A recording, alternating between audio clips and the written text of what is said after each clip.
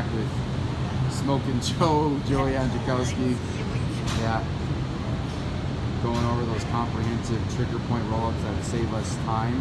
We're a lot more efficient because we're attacking muscle groups or body parts that are responsible for movement in their insertions or their organs, where they initially get their response and in turn allow us to move.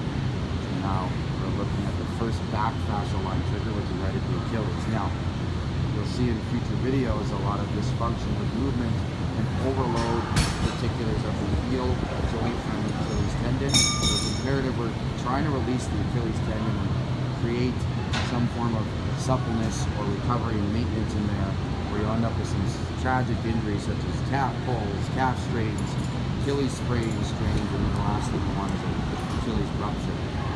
It is directly related to the impact we're creating on the ground and maybe the dysfunction in your posture or intentional movement through those elements.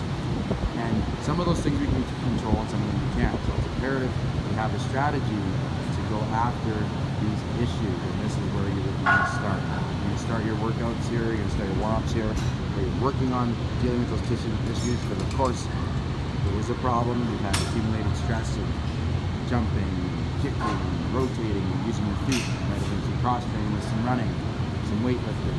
All that accumulative stress has to be flushed somehow. So it's imperative incorporating these type of warm-up strategies. And you'll see throughout the other trigger points as well we continue this comprehensive trigger point rollout.